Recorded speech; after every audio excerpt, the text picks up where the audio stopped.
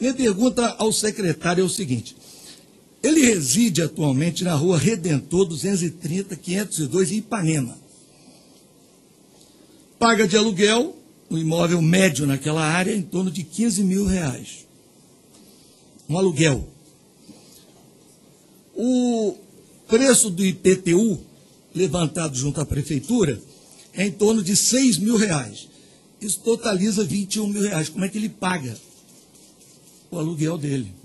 Secretário Beltrame, para suas considerações finais. Eu gostaria de dizer que o aluguel eu pago com o meu salário, não pode ser de outra forma.